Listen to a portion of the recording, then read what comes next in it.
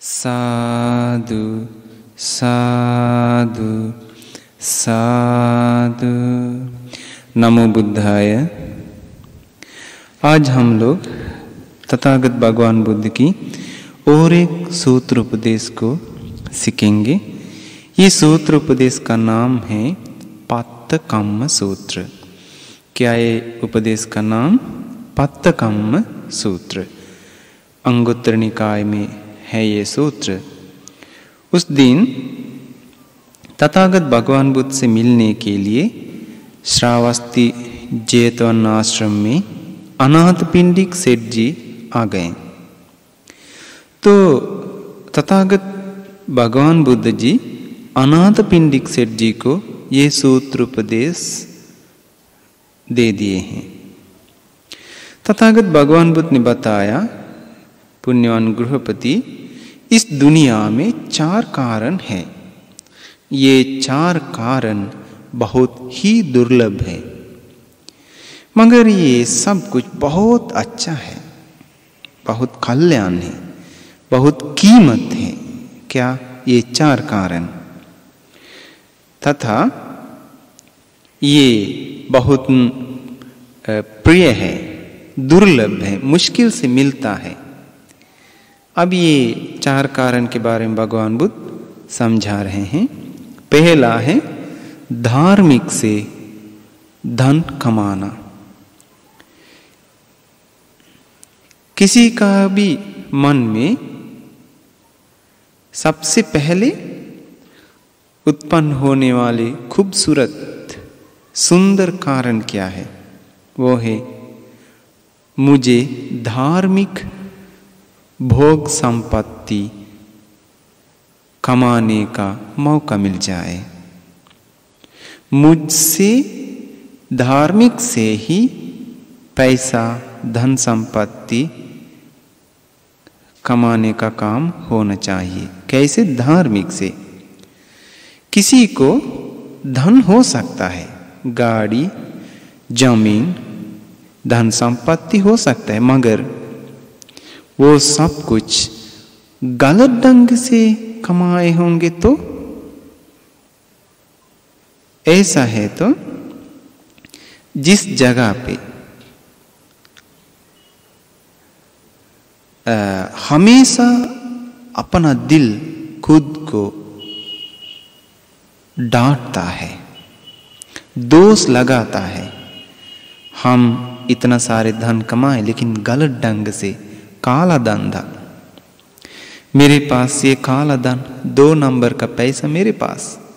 अपना मन खुद को दोष लगाता है, मरने दम तक।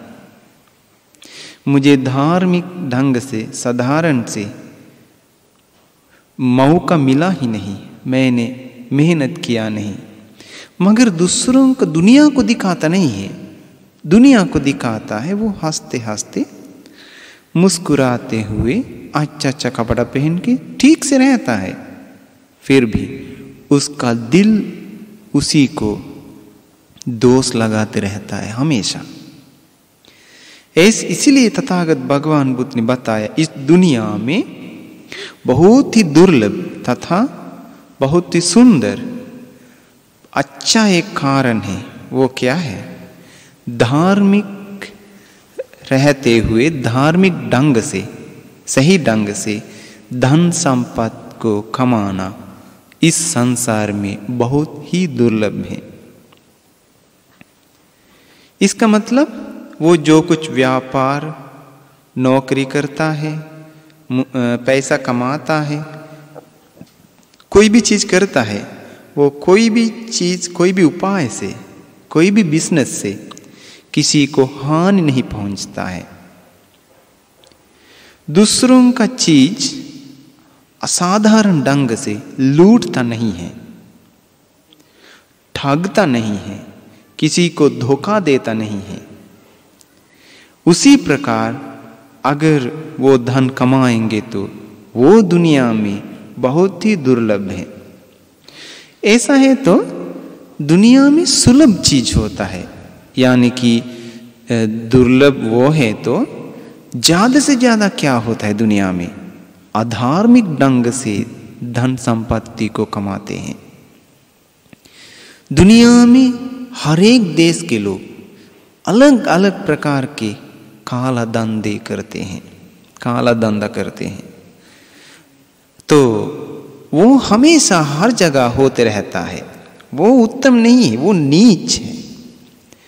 क्योंकि अपना मन खुद को दोष लगाते रहता है। अगर जो कोई धार्मिक से, धार्मिक ढंग से धन को कमाएँगे तो वो तो बहुत दुर्लभ है। ये दुर्लभ पहला कारण है। तथागत भगवान बुद्ध ने दिखाया वो क्या है?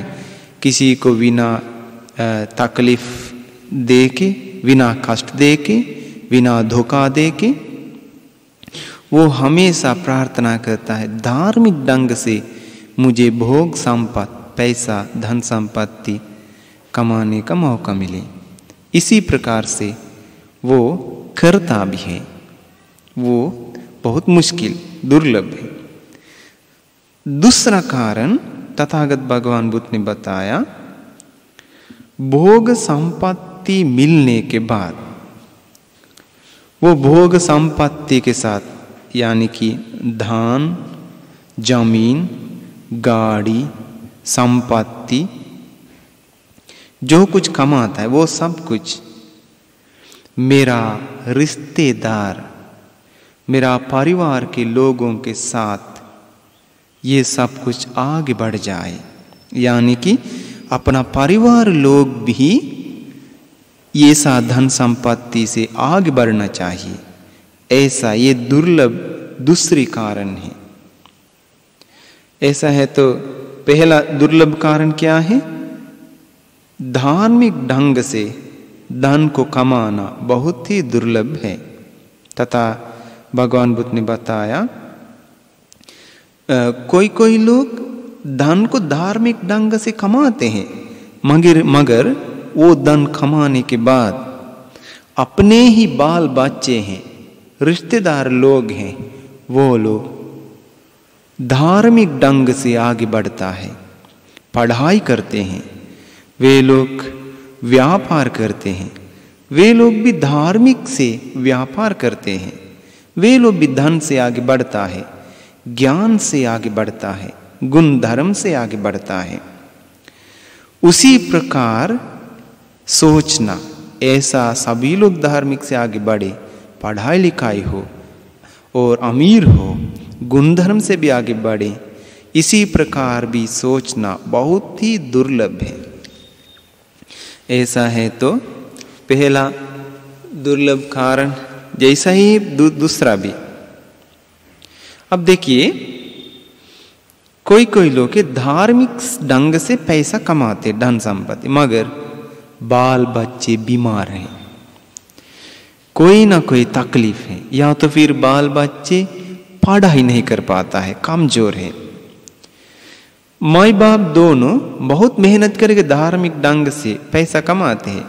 कोई कोई घर में बाल बच्चे लोग नशा करके गलत गलत आदत से व्यभिचार करके, या तो फिर कोई ना कोई चीज़ चीज़ से अपना माई बाप का धन को नष्ट कर देता है। ऐसे होने पर माँ पिताजी का दिल में बहुत दुख उत्प दर्द होता है। क्या दर्द है? अरे मैं बहुत मेहनत करके कमाए हुए धन को अभी क्या हो रहा है? अगर ऐसे नहीं नहीं होना चाहिए तो यानी कि अपना कुछ धार्मिक से धन को कमाया हम्म, उसी प्रकार अच्छी तरह से धार्मिक से इस्तेमाल करने वाले बाल बच्चे रिश्तेदार लोग पाती पातिनी सभी लोगों के साथ आगे बढ़ना बहुत ही दुर्लभ है। ये दूसरी कारण। तीसरी कारण तथागत ने बताया, अब वो धार्मिक ढंग से पैसा कमा के, अभी उसका मन भी खुद को दोष नहीं लगाता है। ज़मीन घर द्वार गाड़ी, ये सब कुछ उसके पास है तथा अपना पाती पातिनी, बाल बच्चे, रिश्तेदार लोग मित्र दोस्त लोग, सभी लोग साथ में आगे बढ़ते हैं धार्मिक ढंग से। वे लोग पढ़ाई करते हैं, व्यापार करते हैं, अच्छी तरह से, सुंदर से आगे बढ़ते बढ़ते जाते हैं। तो वो दो कारण हो गया है। तीसरी कारण है, ऐसा धार्मिक ढंग से पैसा कमा के उन लोगों के साथ ज़्यादा समय जीवन बिताना बहुत ही दुर्लभ है। कोई कोई लोग हैं, धार्मिक ढंग से पैसा कमा के अमीर होते होते आ रहा है, मगर व्यापार शुरू करके कुछ समय में मर जाते हैं, अकाल में मर जाता है। ऐसा है तो लंबी उम्र, दीर्घ उम्र भी मिलना बहुत ही दुर्लभ है। ये तीसरी कारण है।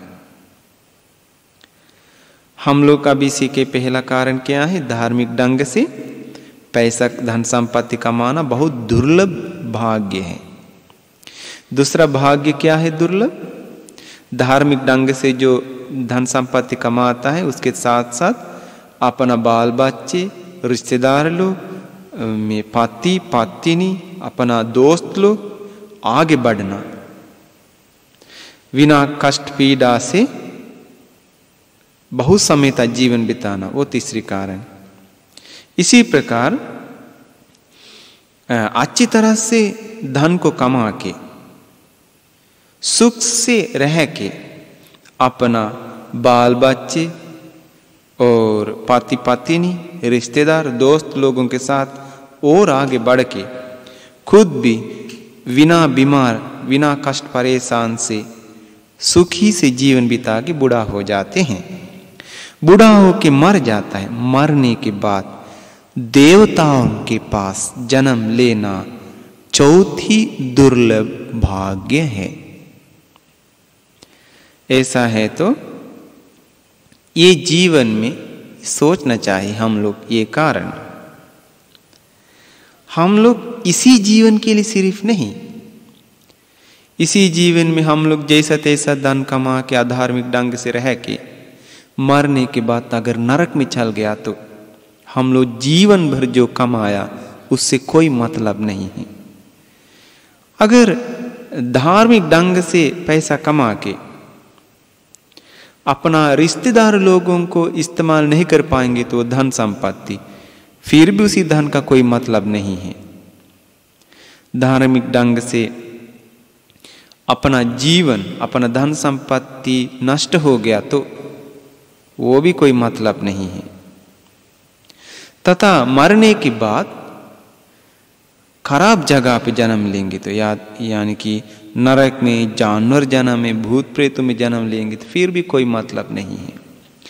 ऐसे तो ये चार भाग्य दुनिया में बहुत ही दुर्लभ है। देखिए भगवान बुद्ध की ज्ञान कितना सत्य है। संपूर्ण सत्य है।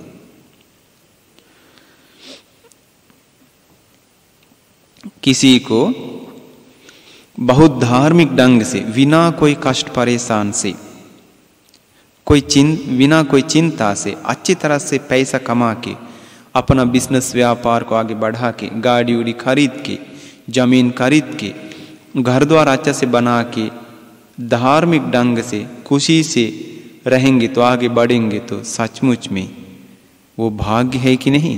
असलियत में दुर्लभ भाग्य है। नहीं तो ऐसा हो जाएगा, बहुत मेहनत करके कमाएगा बड़ा बड़ा गाड़ी पे जाएगा, ज़मीन खरीद लेगा घर द्वार भी अच्छे से बनाएगा, मगर ये सब कुछ असाधारण पैसा है तो काला धंधा है तो। गलत ढंग से कमाई हुई चीज़ है तो अपने मन खुद को दोष लगाता है। ऐसा है तो बिना दोष लगा के रहना, खुशी से रहना बहुत ही दुर्लभ कारण है, मुश्किल से मिलता है। कोई कोई लोग क्या करता है धन संपत्ति कमाने के लिए? दारू बेचता है। कोई कोई लोग पैसा कमाने के लिए मांस बेचता है। कोई कोई लोग पैसा कमा कमाने के लिए मांस के लिए जानवर बेचता है। कोई कोई लोग पैसा कमाने के लिए जहर बेचता है बेचते हैं। कोई कोई लोग धन को कमाने के लिए नौकर लोग बेचते हैं। मगर तथागत भगवान बुद्ध ने बताया ये सब कुछ अधार्मिक है धार्मिक नहीं है। आ, ये सब कुछ चीज़ से परेशान ही मिलते रहता है। तथागत भगवान बुद्ध ने बताया, जो धन संपत्ति मिलने के बाद धार्मिक ढंग से जो धन संपत्ति कमाता है, जो धार्मिक ढंग से धन संपत्ति कमाने के बाद उनके बारे में हर जगह नाम प्रकाश हो जाता है। हर जगह नाम फैल जाता है। कैसे? ये तो उसी परिवार के हैं। ये लोग उनके पास धन संपत्ति है। ये लोग बहुत अच्छे अच्छे में, अच्छे अच्छे लोग हैं। ये मैडम ये सर बहुत अच्छे हैं। इन लोग कभी गलत काम नहीं करता है। अच्छे ढंग से पैसे वैसे कमा के आगे बढ़ गए। ऐसा करके उन लोगों के बारे में धार्मिक लोगों के बारे में चारों दिशा नाम फैल जाता है अच्छा ढंग से। हम्म, धार्मिक ढंग से पैसा कमा के धन संपत्ति कमा के फिर अपना रिश्तेदार, परिवार के साथ आगे बढ़ के बिना बीमार होते हुए, बिना कष्ट होते हुए, लंबी उम्र मिल के सुखी से जीवन बिताने का भाग्य मिलना बहुत ही दुर्लभ है। चौथी भाग्य क्या है? लंबी उम्र मिल गया, बूढ़ा होके मर गया, मरने के बाद भूत प्रेत नहीं बना। जानवर सांप नहीं बना, नरक में नहीं गया। देवताओं के पास दिव्य कुमार जन्म पाए। या तो फिर दिव्य रानी का जन्म पा सकते हैं। सचमुच में ये तो भाग्य है। इसके बाद भगवान बुद्ध ने बताया अनाथ पिंडिक सेठ जी को गृहपति, ये पुण्यवान, भाग्यवान चार कारण मिलने के लिए और चार कारण अपनाना पड़ेगा। और चार, ऐसा है तो और चार कारण हैं। वही चार कारण अपनाएँगे तो ये चार कारण मिल जाएगा। धन के बारे में चार कारण मिलने के लिए और चार कारण है। वो चार कारण को अपनाना पड़ेगा। पहला है श्रद्धा। अनाथ पिंडिक सेठ जी को भगवान बुद्ध ने बताते हैं, आर्य श्रावक आर्य श्रावक मतलब आर्य कौन है? आर्य कहता है सत्य को, जो सही है, पारिशुद्ध है, उसको आर्य कहता है। अनार्य कहता है, जो पापी है, गलत है। ऐसा है तो आर्य कहता है, भगवान बुद्ध को भी आर्य कहते हैं, भगवान बुद्ध के धर्म को भी आर्य कहते हैं। ऐसा है तो आर्य साव को मतलब जो भगवान बुद्ध की शरण में गए हैं वो श्रावक, आर्य श्रावक हैं। सद्धो होती। श्रद्धा से परिपूर्ण है। इसके बाद श्रद्धाति तथागता सबोधि। तथागत भगवान बुद्ध की अनुबोध के बारे में, तथागत भगवान बुद्ध की ज्ञान के बारे में पूरा विश्वास है, भरोसा है। यही श्रद्धा संपत्ति है, आर्य श्रावक का पहला संपत्ति, पहला कारण। ऐसे तो भगवान बुद्ध के बारे में समझना चाहिए, कैसे? जानना चाहिए, मालूम होना चाहिए। भगवान बुद्ध के पास नौ गुण है। अरहंग, यानी कि राग, क्रोध, मोह को नष्ट किए हैं। सम्मा संबुद्ध मतलब उत्तम चार आर्य सत्य बिना गुरु के गुरु के उपदेश से प्राप्त किए हैं। विद्याचरण संपन्न, अनंत अनगिनत विद्याओं के साथ सुंदर से जीवन बिताए हैं। सुगत यानी कि आर्य अष्टांगिक मार्ग पे अपना जीवन को आगे बढ़ाए हैं। लोक विदु यानी कि सारे लोकों के बारे में संपूर्ण रूप से जान गए हैं।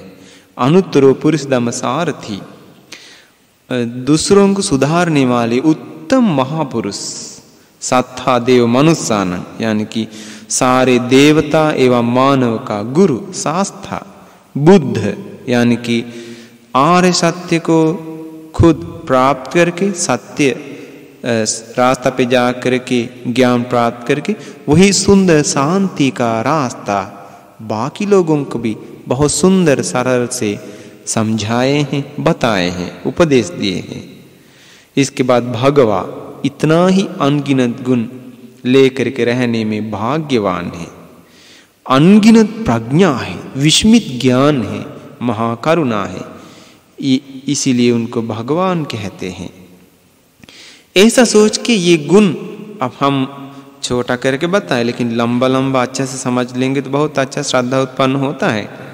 इसी प्रकार आर्य श्रावक भगवान बुद्ध की अनुबोध के बारे में, भगवान बुद्ध के ज्ञान के बारे में पूरा विश्वास करता है। ये है श्रद्धा संपत्ति। अगर श्रद्धा संपत्ति उसके पास नहीं है तो वो क्या करेगा? कुछ विश्वास नहीं करेगा। नया नया कुछ आ गया तो तुरंत वो पकड़ लेगा। कभी कभी जो नया नया चीज़ अभी आता है ना कोई कोई लोग बताया था, उधर चल जाइए, उधर गुरु महाराज बहुत अच्छा से प्रवचन देता है, उधर आशीर्वाद मिलता है। तुरंत वहाँ दौड़ता है। और कोई कहता है, नहीं नहीं, वहाँ चल जाए वहाँ यज्ञ बहुत अच्छा से होता है डंग से होता है, चल जाइए। वहाँ दौड़ता है। नहीं, वहाँ मस्जिद में चल जाइए ना, वहाँ अच्छा है, वहाँ ध्यान भी अच्छा है, इसे वहाँ दौड़ता है। फिर बोलता है, देखिए, वो बहुत बड़ा महाराज जी ने आया, जाइए जाइए, वह दौड़ता है। इसी प्रकार, जैसा तैसा समाज, दुनिया चलता है, उसी प्रकार ये इधर उधर दौड़ते रहता है। क्यों? क्योंकि श्रद्धा नहीं है। ना ही भगवान बुद्ध के बारे में जानते हैं, ना ही भगवान बुद्ध की धर्म के बारे में जानते हैं।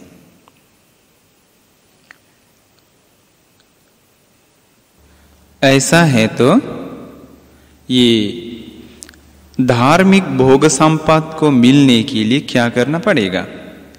तथागत भगवान बुद्ध प्रति श्रद्धा उत्पन्न होना पड़ेगा। नहीं तो नहीं कर सकता है। भगवान बुद्ध ने बताया, गृहपति अच्छा से, प्रिय प्रकार से, अच्छी तरह से, पुण्यवान, भाग्यवान, ये चार कारण अगर पाना चाहेंगे तो और चार कारण अपनाना पड़ेगा। उसका पहला कारण क्या बताए? श्रद्धा संपत्ति। श्रद्धा संपत्ति मतलब तथागत अरहत, भगवान बुद्ध के बारे में अनुभव अनुबोध का विश्वास। अज्ञान की विश्वास नहीं, मूर्ति देख के। ऐसा नहीं। ज्ञान सुन के भगवान बुद्ध प्रति जो विश्वास उत्पन्न होता है, वही। इसके बाद वो सिर्फ़ भगवान बुद्ध को नमन करता है। भगवान बुद्ध को गौरव, सत्कार, सम्मान करते हैं, क्योंकि वो भगवान बुद्ध की ज्ञान जानते हैं। वो जा, वो पहचान सकते हैं उनको भगवान बुद्ध की धर्म के बारे में। ऐसा है तो हम लोग कभी कभी बुद्ध पूजा करते हैं। उससे बुद्धानुसति पुण्य मिलता है। कभी कभी हम लोग फूल पूजा करते हैं, खीर पूजा करते हैं। ये सब कुछ बुद्धानुसति पुण्य है। कभी कभी भगवान बुद्ध के बारे में मनन कर सकता है। ये भी बुद्धानुसति पुण्य। भगवान बुद्ध परिनिर्वाण होते समय पेड़ों के नीचे उन्होंने सोए थे। उस समय पेड़, पेड़ों से तुरंत फूल खिल खिल के उनका शरीर में गिर रहे थे।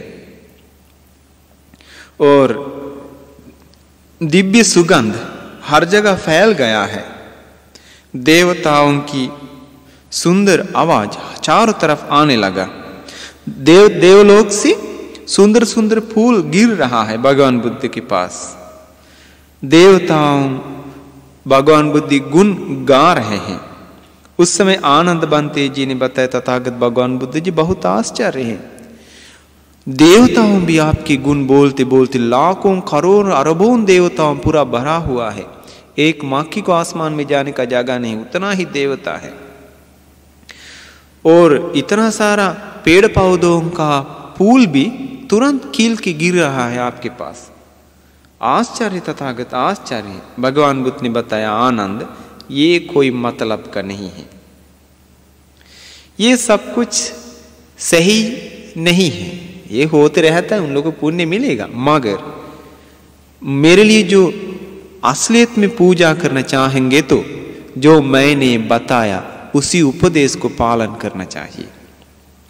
जो मैंने बताया, उसी उपदेश पालन करेंगे तो वही है मेरे लिए असली पूजा। ऐसे है तो भगवान बुद्ध अपना शिष्य लोग से क्या इंतज़ार किए हैं? मेरा शिष्य लोग मुझे सिर्फ़ पूजा करो। ऐसा नहीं, भगवान बुद्ध ने बताया। धर्म की रास्ता पे जा करके अपना जीवन को सुधारने के लिए। देखिए कितना सुंदर है ये कारण। ज़रूर, अहिंसक लोगों को ये अपना सकता है। घमंड वाले, बदमाश वाले, मूर्ख वाले लोगों को ये कारण के बारे में सोच भी नहीं सकता है। वे लोग अधार्मिक ढंग से आगे बढ़ने के लिए कोशिश करते हैं। धार्मिक ढंग से नहीं।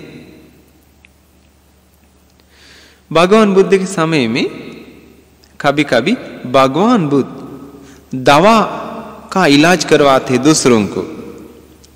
ये जड़ी बूटी लेकर के पी लीजिए बीमार ठीक हो जाएगा। भगवान बुद्ध को आराम से दूसरों का बीमार ठीक करवा सकता था, मगर भगवान बुद्ध अपना धर्म के लिए किसी को ऐसा जादू नहीं दिखाए। आराम से अपना पावर से दूसरों का सारे तबियत ठीक करा सकता। आजकल ऐसा लोग करते हैं ना, थोड़ा कुछ बीमार ठीक करवाता, वही भगवान बन गया। थोड़ा कोई सोना दिया तो वही भगवान बन गया। भगवान बुद्ध के समय एक उपासिका थी, सुप्पिया। सुप्पिया एक दिन क्या की? कुछ बीमार के लिए संत को अपना पैर का मांस काट के झोर बना के पूजा किया, उसी बीमार को ठीक करवाने के लिए। भगवान बुद्ध पूछ रहे थे सुप्पिया उपासिका, प्रवचन सुनने के लिए इस समय नहीं आती है, क्या करती हैं? फिर बताए सुप्पिया ऐसा बीमार है। फिर भगवान बुद्ध ने आश्रम में रहते, रह करके बताया सुप्पिया सुखी हो। तुरंत सुप्पिया का पैर ठीक हो गया। और सीविली भंते जी का माँ के बारे में आप लोग सुने होंगे। सीविली भंते जी अपना माँ के पेट में सात साल तक थे। भगवान बुद्ध को बताने को भगवान बुद्ध ने तुरंत बताया सीविली भंते जी का माँ को, वो सुखी हो। तुरंत एकदम चाय छानने से, पानी छान के आना जैसा बच्चा तुरंत मिल गया, निकल गया, कोई तकलीफ़ नहीं हुआ। और एक दिन सुबह अरहंत बनते जी ने अरहंत भिक्षु ने एक आदमी के कारण सुबह अरहंत भिक्षु ने क्या कि अपना आँखें निकाल के उसको दे दिया। वो आदमी डर के बेहोश हो गया। फिर वो आँख लेके आते समय भगवान बुद्ध, देखते देख के भगवान बुद्ध की बल से फिर आग ठीक हो गया। मगर कभी भी भगवान बुद्ध अपना धर्म, ज्ञान को दूसरों को देने के लिए ये जादू इस्तेमाल नहीं किया। देखिए ऐसा गुरु का आश्चर्य। आजकल ऐसा कोई गुरु मिल गया तो तुरंत बताएगा, हम सबको बीमार ठीक कराएँगे, मेरे पास आओ। तुरंत विदेशी लोगों का गाड़ी, धन संपत्ति, पैसा, बैंक अकाउंट में पैसा सब जमा करके आगे बढ़ने के लिए कोशिश करेगा। भगवान बुद्ध के लिए वो कोई भी ज़रूरत नहीं था। इसलिए भगवान बुद्ध जी कभी कभी जंगल में सोते थे। कभी कभी जंगल में दो तीन चार महीना रहते थे, ध्यान कर रहे थे। कोई भी लाभ, सत्कार, संपत्ति पे कोई आसक्त नहीं थे। इसीलिए हम लोग समझना चाहिए, ऐसा गुरु हम लोगों को मिल गया तो। इसका मतलब हम लोग का मन में श्रद्धा उत्पन्न हो गया तो ये दुर्लभ भाग्य है। इसीलिए तथागत ने बताया, आगे बढ़ने के लिए पहला क्या चाहिए? श्रद्धा, संपत्ति चाहिए। पहला चार कारण को पाने के लिए, पहला चार कारण क्या बताया धार्मिक ढंग से धन, धनी होना और धार्मिक ढंग से धनवान बन के अपना परिवार लोगों को साथ भी धार्मिक ढंग से आगे बढ़ना। तीसरा क्या? धार्मिक से धनवान हो के अपना परिवार लोगों के साथ बहुत समय तक जीवन जीना। चौथा क्या है? ऐसा बहुत समय तक जीवन जी के मरने के बाद देवताओं के पास जन्म लेना। ये चार कारण को पाने के लिए और चार कारण अपनाना पड़ेगा ना? उससे पहला क्या है? श्रद्धा, यानी कि तथागत भगवान बुद्ध प्रति अटल श्रद्धा किसी को नहीं हिला सकता है। यही अटल श्रद्धा उत्पन्न होना चाहिए तो अपना पास बुद्धि, ज्ञान चाहिए। बिना बुद्धि ज्ञान से श्रद्धा उत्पन्न होता ही नहीं। दूसरा कारण भगवान बुद्ध ने बताया, सील। सील संपत्ति। ऐसा है तो ये आर्य श्रावक क्या करते हैं? श्रद्धावान हो गया। श्रद्धावान होने के बाद दूसरी कारण अपनाए हैं। वो क्या है? प्राण प्राणियों को हत्या करना, त्याग कर देता है। चोरी करना, त्याग करता है। व्यभिचार, गलत काम करना छोड़ देता है। झूठ बोलना छोड़ दे, छोड़ते हैं। सत्य ही बोलते हैं। और शराब वगैरह, नशीले कुछ भी है जो इस्तेमाल नहीं करता है। ये है सील संपत्ति। ऐसा है तो अपना जीवन को आगे बढ़ाने के लिए मदद होने वाले पहला कारण क्या है? श्रद्धा संपत्ति। अगर श्रद्धा संपत्ति को हानि पहुँच गया तो बाकी सब कुछ में हानि पहुँच जाएगा। क्यों? जिसका दिल में भगवान बुद्ध प्रति श्रद्धा नहीं है वो कभी भी अपना जीवन सुधारेगा नहीं। इसलिए भगवान बुद्ध ने हमेशा श्रद्धा शुरुआत में दिखाता है। बताते श्रद्धा सबसे पहले तैयार करना चाहिए। इसके बाद ये श्रद्धावान पुरुष दूसरे कारण भी अपनाता है। दूसरे कारण क्या है? सील। हत्या नहीं करता है, चोरी नहीं करता है वह विचार नहीं करता है, झूठ नहीं बोलता है, नशा नहीं करता है। ऐसा है तो वो क्या करेगा? अपना अगर झूठ बोलेंगे तो आराम से आगे बढ़ सकता है, फिर भी वो झूठ बोलेगा नहीं। सुरक्षा करेगा। अगर हत्यारा हो गया तो आराम से आगे बढ़ सकते लेकिन हत्या नहीं करता है। अगर दारू पी के, दारू पिला के, बेच के काम करेंगे तो आगे बढ़ सकते लेकिन ये सब नहीं करता है। धार्मिक ढंग से आगे बढ़ने का दूसरी कारण सीलवान होना चाहिए। तीसरी कारण है चाग संपदा चाग संपदा यानी कि देना, त्यागना। कुछ भी त्याग करने के लिए अपना पास हिम्मत चाहिए। भगवान बुद्ध ने बताया, विगत मल मच्छरेन चेतसा अगारंग अध्यावसती, यानी कि खंजूसी विचार को हटा के लालची विचार को हटा के लोभी विचार को हटा के वो घर में रहता है, दूसरों को देता है, मुक्त चागो, यानी कि वो हमेशा देने के लिए घर में सामान अलग करके रखता है पायत पानी, यानी कि देने के लिए हमेशा अपना हाथ को तैयार करके रखता है। वो सगरतो दान देने के लिए रथ हो रथ हो जाता है। यानी कि दान देने के लिए तैयार है। चाग याच योग, यानी कि उसी से कुछ भी मिलने के लिए योग्य है। क्यों? वो देने वाला है। ऐसा है तो लोग उनके पास आता है मांगने के लिए। दान संविभाग रतो दान को बांटने के लिए बहुत पसंद मन से रहते हैं। इसी प्रकार त्याग संपत्ति भी प्रयास करता है। ये दुर्लभ तीसरे कारण है। ऐसा है तो त्यागी मन से गृहस्थ जीवन में रहना त्याग संपदा है। आप देखिए, पहले जो बताया चार कारण, वो चार कारण को पाने के लिए और चार कारण अपनाना पड़ेगा। पहला क्या है? श्रद्धा संपत्ति। दूसरा है सील संपत्ति।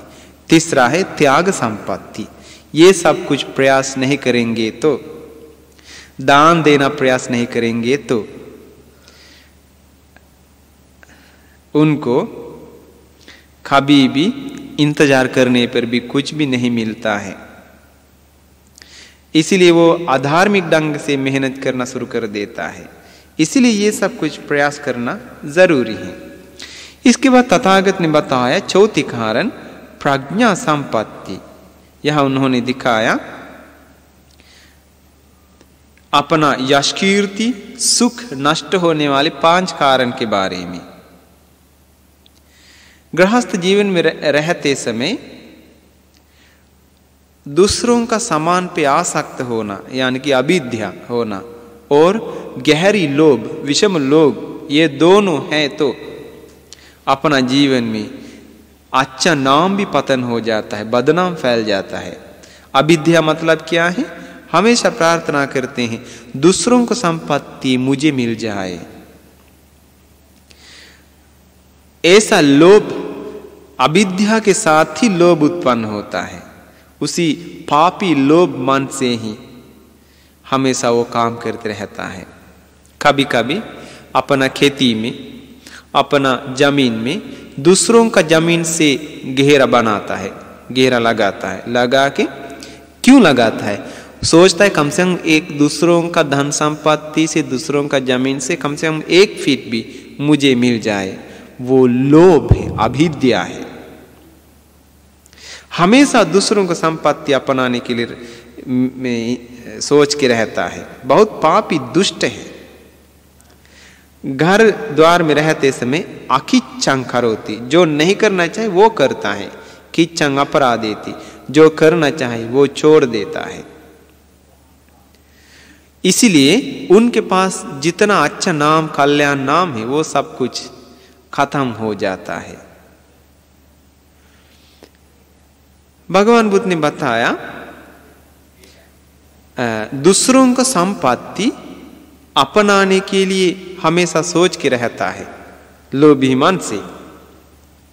उनके पास पहले से ही जो कुछ कीर्ति, यश, संपत्ति था तो वो सब सब कुछ पहले से ही खत्म हो जाता है। अब वो रहता है इसके बाद गुस्सा मन से। गुस्सा मन से, क्रोधी मन से रहने रहने से अपने को कोई कल्याण नहीं होता है।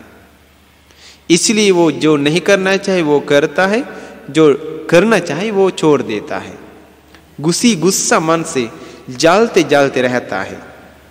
इसलिए ऐसा गुस्सा मन से रह, क्रोधी मन से जलते जलते रहने के कारण जितना यश, कीर्ति, सुख था, वो सब कुछ खत्म हो जाता है। तीसरा कारण है, हमेशा घर में सो जाता है, आराम करता है। सुबह आठ नौ बजे तक सोते हैं। कुछ ना कुछ चाय हुई, कुछ खाओ, पी के फिर पलंग पे जाके सो जाता है। ऐसा आलसी मन से रहने वाले लोग भी जो नहीं करना चाहे वो ही करता है। जो करना चाहे, वो छोड़ देता है। इसके कारण उनके बारे में जो कुछ अच्छा नाम या कीर्ति था वो सब कुछ खत्म हो जाता है। अभी तीस, तीन बताया। चौथा है, तथागत ने बताया, गृहस्थ जीवन रहते समय वो हमेशा भटकते रह, भटकते रहने वाले मन से हैं। हमेशा मन हड़बड़ा के भटकते भटकते रहता है, शांत नहीं है। मन हमेशा धूल उड़ गया जैसा, पीड़ा मन से रहता है। हमेशा मन में कई प्रकार की कष्ट पीड़ा टेंशन भरा हुआ है। उनको भी कुछ भी नहीं कर पाता है। उन लोगों का घर द्वार में जाएँगे तो पूरा घर द्वार गंदा है। सुंदर से झाड़ू वगैरह मार के सुंदर से सरिया नहीं सकता है। क्यों? मन में बहुत परेशान। मन भटकते रहता है। किचन में जाएँगे तो किचन का बर्तन वगैरह एकदम बिना धो धो के रखता है। क्यों? मन पूरा बिगड़ा हुआ है, बिगड़ गया है। इसी प्रकार गृहस्थ जीवन में रहेंगे तो वो जो नहीं करना चाहे वो करता है, जो करना चाहे वो छोड़ देता है। इसी के कारण उसके बारे में जो कुछ कीर्ति नाम अच्छा नाम फैल फैल जाएगा तो सब कुछ खत्म हो जाता है। फिर तथागत भगवान बुद्ध ने बताया, हमेशा शक से घर में रहता है। शक है, हमेशा शक है। क्यों ये सब कुछ होता है? क्योंकि श्रद्धा नहीं है। श्रद्धा नहीं है होने के कारण ये सारे अविद्या लोभ से और हमेशा क्रोधी गुस्सा मन से, हमेशा आलसी मन से, हमेशा परेशान, टेंशन मन में भरा के भटकते हुए मन से हमेशा शक से रहना पड़ता है। क्या नहीं होने के कारण? श्रद्धा नहीं होने के कारण। हमेशा शक करने से क्या होता है? जो नहीं करना चाहे वो करता है, जो करना चाहे वो छोड़ देता है। उनके बारे में जो कुछ अच्छा नाम फैल गया, वो सब कुछ खत्म हो जाता है। इसके बाद भगवान बुद्ध ने बताया, गृहपति, आर्य श्रावक सबसे पहले समझना चाहिए अपना मन की कल्याण के बारे में। अपना कल्याण जो नष्ट करने वाले पहला कारण है क्या? दूसरों का संपत्ति पे लालची करना, लोभ करना।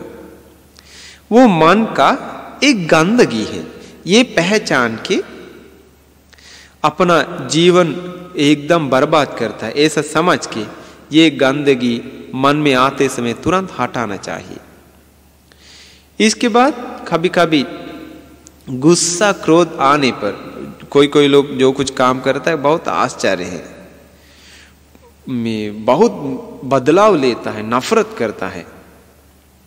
इसीलिए ये क्रोध, गुस्सा अपना जीवन के लिए बहुत बाधक है, ये समझ के। और ये ये गुस्सा, क्रोध बहुत पापी विचार है। ये मेरे लिए एकदम घटा है। ऐसा सोच के गुस्सा, क्रोध भी दूर करना चाहिए। अपना मन में कभी रखना नहीं चाहिए। फिर नींद। नींद आलसी आएँगे तो कुछ भी काम नहीं कर पाता है। तुरंत आराम करने का मन करता है। आगे बढ़ने का मन, कुछ काम करने का मन आता ही नहीं है। ये भी समझ के, वीर से, बहुत मेहनत से ये नींद आलसी वगैरह पहचान के, ये सब हटाना चाहिए, दूर करना चाहिए। फिर मन हमेशा भटकते रहता है ना। कभी शांति नहीं है, हमेशा टेंशन में मन है, ये भी पहचानना चाहिए। ये मेरा मन का जो तकलीफ़, परेशान जैसा है, ये भी मेरे लिए बहुत घटा है, कल्याण नहीं है। इसलिए हम ये तरीका भी छोड़ देंगे। मन शांत करेंगे। ऐसा करके वो वो सब छोड़ देता है। फिर पंचमा क्या है? के बारे में वो समझ लेता है। अगर हम ऐसा शक करने जाएँगे तो मेरा ही घटा हो जाता है। ऐसा सोच के शक भी वो त्याग करता है। छोड़ देता है। मन में जो कुछ गंदगी आता है, ये सब कुछ पहचान के छोड़ देंगे छोड़ने के कारण भगवान बुद्ध ने बताया, ऐसा छोड़ दिया तो उनको कहता है, आर्य श्रावक, वो ही भगवान बुद्ध के शिष्य। वो तो महापन्यो वो तो महाप्रज्ञावान है, छोटा प्रज्ञावान नहीं, इसके बाद पुथुपान्यो एकदम चौड़ाई प्रज्ञा उनके पास है, बड़ा प्रज्ञा है आपाथ दसो यानी कि सही रास्ता और गलत रास्ता को वो समझ गया है। पन्या संपन्न, सचमुच में वो प्रज्ञावान है। इसीलिए ये पाँच प्रकार की गंदगी बह हटा देंगे तो वही है प्रज्ञा। ये है प्रज्ञा संपत्ति, चौथी कारण। भगवान बुद्ध ये कारण बता के फिर बताते हैं, आर्य श्रावक बहुत मेहनत करके कमाता है। कैसा? श्रद्धा उनकी बहुत मेहनत करके कमाने के लिए उनको सहायता होता है क्या? श्रद्धा संपत्ति सील संपत्ति, त्याग संपत्ति, प्रज्ञा संपत्ति। ये चार संपत्ति में रहते हुए मेहनत करके कमाता है। ऐसे कमा के, वो पैसा खर्च करके, अच्छे से कपड़ा उपड़ा ले करके खान पान ले करके सुखी से जीवन बिताते हैं, बहुत खुशी से रहता है। क्या क्या करता है सबसे पहले? वो श्रद्धा, सील, त्याग, प्रज्ञा, ये चार संपत्ति लेकर के धार्मिक ढंग से पैसा कमा के सबसे पहले वो क्या करता है? खुद अच्छी तरह से कपड़ा उपड़ा ले करके अच्छा अच्छा खाओ, पी के, बहुत अच्छा से रहता है, खुशी से रहता है। इसके बाद माता पितरो सुखेति पीतेति सम्मा सुखं परिहरती। यानी कि अपना माँ और पिताजी को भी अच्छी तरह से सेवा सम्मान सत्कार करता है। मम्मी पापा पर अच्छी तरह से खर्च करता है। मम्मी पापा का कल्याण के लिए हमेशा सोचता है, सेवा करता है। ये भी अच्छी तरह से कर्तव्य निभाता है। दूसरा फिर तीसरा भगवान बुद्ध ने बताया ऐसा श्रद्धाशील और त्याग प्रज्ञा ये संपत्ति जिसका पास है, वो अच्छी तरह से पैसा कमा के अपना बाल बच्चा लोगों को, फिर अपना घर में काम करने वाले नौकर लोगों को, नौकरानी लोगों को, फिर अपना कोई कंपनी वगैरह है तो उसमें काम करने वाले लोगों को, अपना पत्नी को, परिवार के लोगों को अच्छी तरह से सेवा करता है। जो चाहे वो दे देता है, क्यों पैसा है? ऐसा गुणधर्म है तो ज़रूर वो आगे बढ़ता है, कोई नहीं रोक सकता। अच्छी तरह से, क्योंकि ये कभी पतन नहीं होता है। ऐसा गुण धर्म वाले लोग कभी गिरता है ही नहीं है। क्योंकि पतन होने का कारण इनका जीवन में नहीं है। क्यों? हमेशा भगवान बुद्ध प्रति श्रद्धा मन से रहता है। हमेशा सील पालन करता है। हमेशा वो त्याग करता है यानी कि हमेशा दान देते हैं और प्रज्ञा मन से रहता है। यानी प्रज्ञा मन से कैसे रहता है? दूसरों को संपत्ति अपनाने के लिए सोच के नहीं रहता है लोभी नहीं है। दूसरा क्या है? क्रोध नफरत मन से नहीं रहता है। तीसरा आलसी मन से सोते सोते रहने के लिए सोच के नहीं रहता है। इस, इसके बाद चौथा अपना मन को शांत करता है। पंचमा, कोई शक संदेह उनके पास नहीं है। भगवान बुद्ध ने बताया, इस प्रकार जो है, श्रद्धावान है, शीलवान है, दान देने वाले, त्यागवान है, प्रज्ञावान, इस प्रकार काम करेंगे तो उनको बहुत सारे धन संपत्ति मिल जाता है। बहुत जल्दी जल्दी आगे बढ़ जाता है। सुख मिल जाता है। इस जन्म, अगला जन्म, दोनों जन्म धार्मिक से ही आगे बढ़ जाता है। ये कोई नहीं रोक सकता है। फिर भगवान बुद्ध ने बताया, इसी प्रकार ये बहुत मेहनत करके पैसा कमाता है। कमाए हुए पैसा खर्च करके अच्छा से रहता है। माई बाप को भी सेवा करता है। बाल बच्चे पति पत्नी अपना नौकर लोगों को भी खर्च करता है। फिर अपना दोस्त लोगों, रिश्तेदार लोगों को भी सेवा करता है। इसी प्रकार अच्छा से ये कमाए हुए धन संपत्ति धन संपत्ति इस्तेमाल करके, धार्मिक से कमा के अच्छी तरह से रहता है। ये पहला। दूसरा, इसी प्रकार रहते समय धार्मिक से जो पैसा कमाया है, उसको कभी धन संपत्ति को नष्ट होने के लिए कोई परेशान नहीं आता है। कैसे? कभी कभी धन संपत्ति जल जाता है, चोरी करता है, या तो फिर सरकार आके कब्जा करता है, या तो फिर और कोई आके कब्जा करता है, या तो फिर कोई दुश्मन लोग आकर के लेता है, नष्ट करता है। इसी प्रकार धार्मिक ढंग से जो पैसा कमाता है, उन लोगों का धन संपत्ति नष्ट नहीं होता है। आप समझ लीजिए। इतना दो नंबर का काम दुनिया में क्यों होता है? इतना अमीर लोग को परेशान क्यों होता है? क्यों?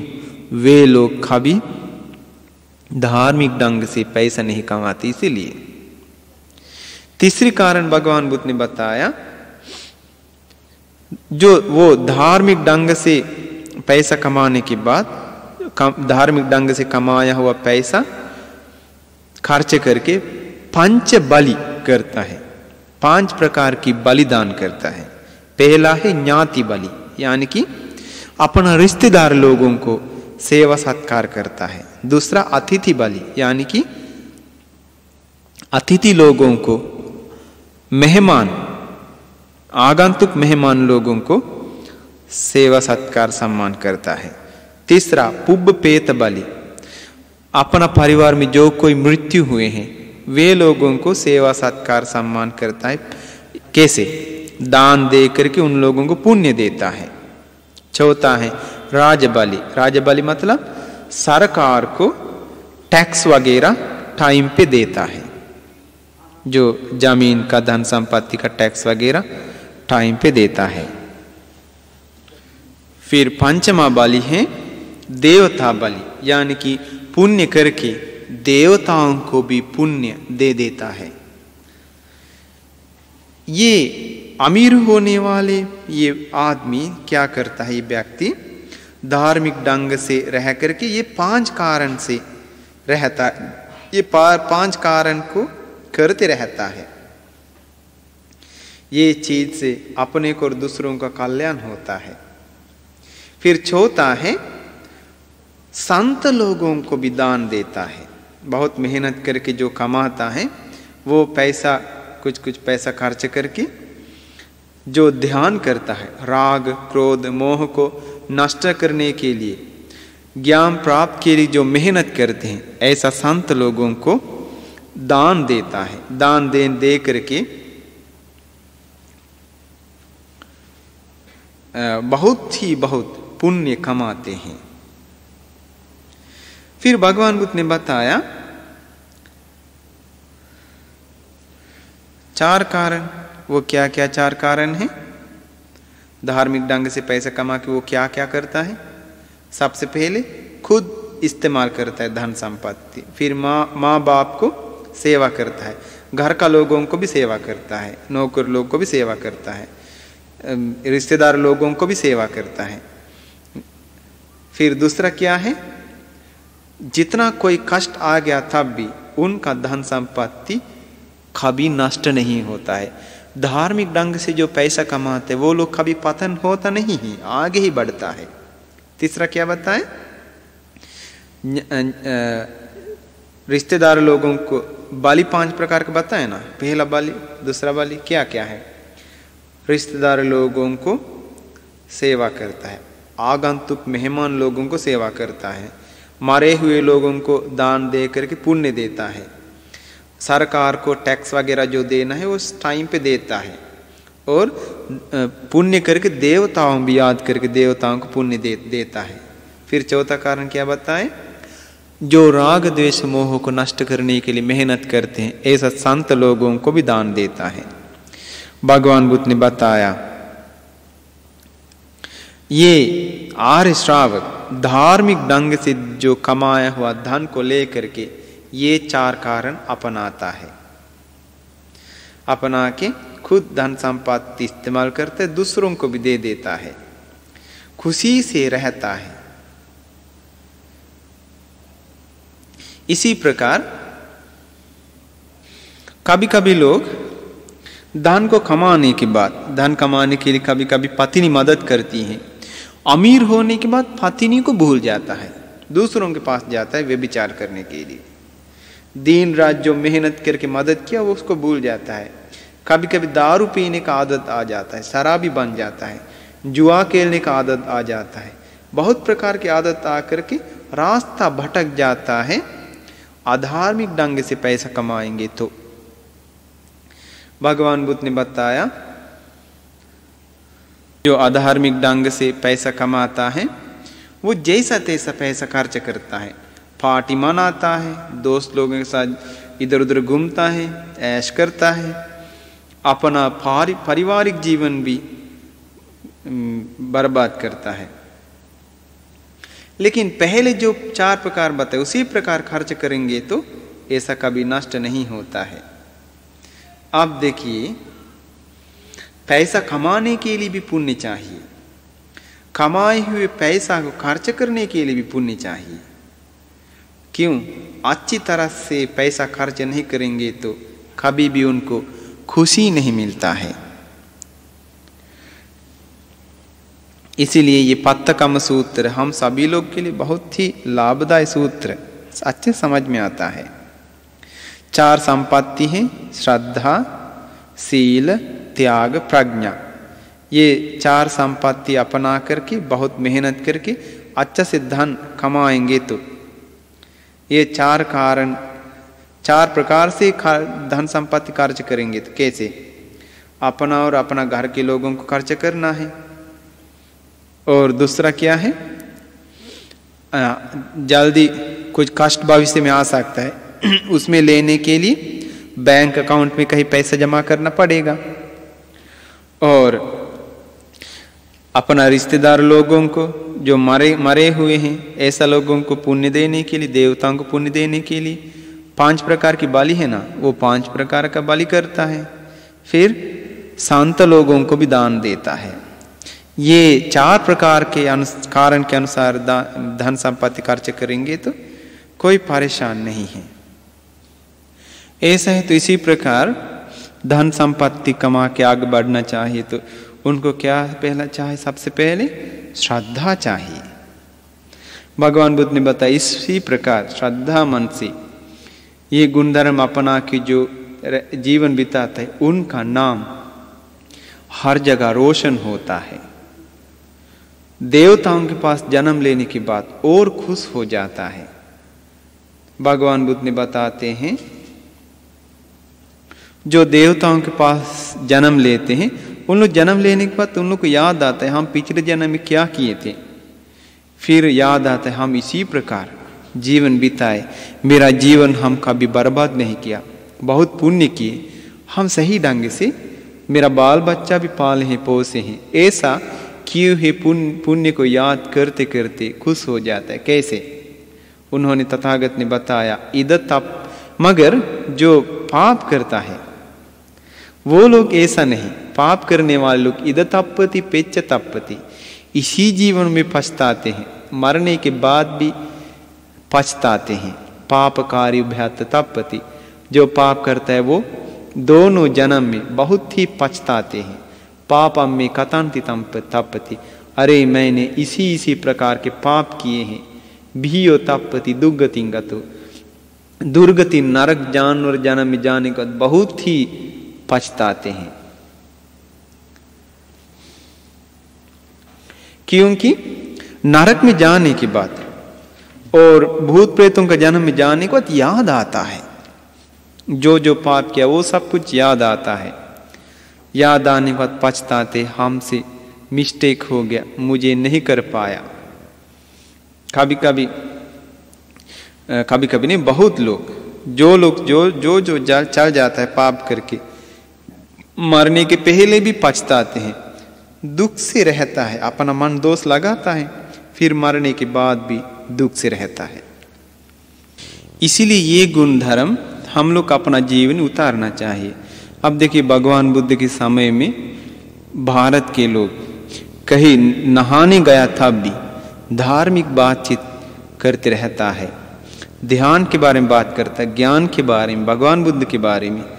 आजकल कहीं चापाकल के पास खेती में काम करने गया तो नदी में पूजा के लिए गया तो क्या बात करता है?